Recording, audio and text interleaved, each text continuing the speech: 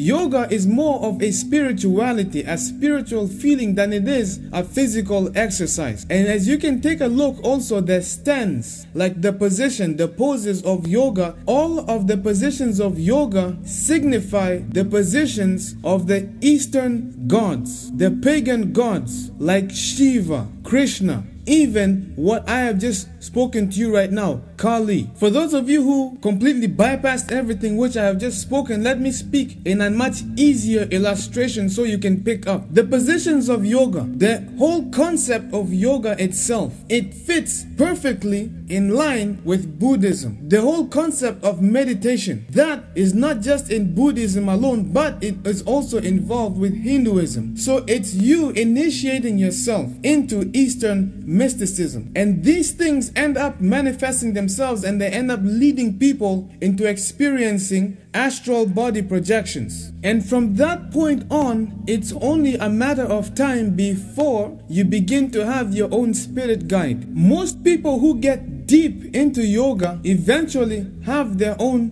gurus, their own spirit guides that lead them into quote unquote spiritual enlightenment. You see, Hinduism and Buddhism have one thing in common. They both lead you into astral projections, which is to have an outer body experience. And in like manner, those that practice yoga, they are bound one way or another. They are bound to have lucid dreams. If you have ever practiced yoga before and you begin to experience more lucid dreams, that is your first indication to get out. Do not stay and practice it any further. Do not go beyond this point because the more you practice it, the more you are going to be visited now by more dark figures. Now, here is the thing I know many of you do not believe anything that I'm saying, most of you do not agree with what I'm saying. So, here is a simple test. If you experience lucid dreams more and more frequent, I want you to try this. Next time you have a lucid dream, I want you to attempt to even mention the name of Jesus Christ. When you have lucid dream, next time I want you to mention the name of Jesus Christ and just say there is power in the blood of Jesus. Just simply attempt to say that. Then observe what you begin to experience next. The one thing that is common amongst every single lucid dream is that it always tends to be a dark atmosphere and you are always visited by a dark figure. So we need to be careful. You need to be careful when you are experiencing a lucid dream because that is an indication that you are being visited by someone. And by someone, I mean a fallen angel. And we all know a fallen angel is a demon. In this type of experience, you need to pray and call upon the name of Jesus. When you call upon the name of Jesus, you may or may not experience a wrestling in your dreams. You may be locked into paralysis or you may just snap out and wake up from that dream. Just call upon the name of Jesus. And this is a very good exercise for those of you who are skeptics. For those of you who do not believe in the name of Jesus Christ, you do not believe there is power in his blood. Just call upon the name of Jesus. Mention it from your heart when you're experiencing any of these things. Then you will personally experience something different. You will see what happens when you mention the name of Jesus Christ. And you know what? I cannot step in and tell you something that I do not know anything about. This is something that I have already experienced multiple times in my life.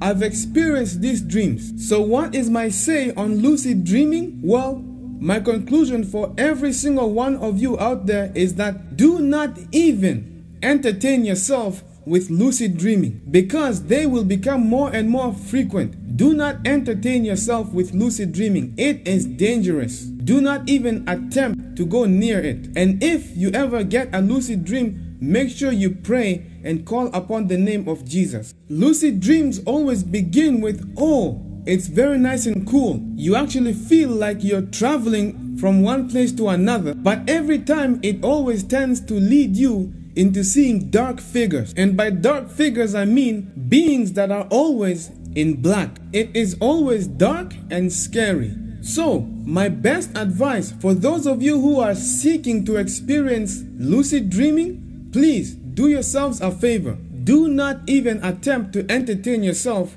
with these things. They are directly linked with sleep paralysis. So, in the conclusion of this video, what I'm going to do is advise each and every single one of you strongly. Do not even support these musicians that are promoting all of these nonsense of garbage for you. Do yourselves a favor. Keep away from these people. Have nothing to do with their songs, as their songs are only feeding you with satanic junk. That's all they're doing. And when they go to perform live concerts, all they are doing is just performing satanic rituals in front of the mass public. And as you can see, most people are throwing satanic hand signs, wearing satanic shirts, having tattooed bodies that have satanic symbols, and the dragon and skull and crossbones, all of those nonsense. And yet they have no idea what it is that they are actually welcoming in their lives. Whether you believe it or not, Satan exists. Whether you believe it or not, if Satan exists, then guess who also exists? That's right,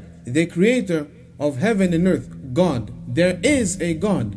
Whether you believe it or not, you have no say in this matter because there is a God. You can say a hundred thousand times that there is no God. You can say a hundred thousand times that you do not believe in God. But regardless of what you say, there is a God.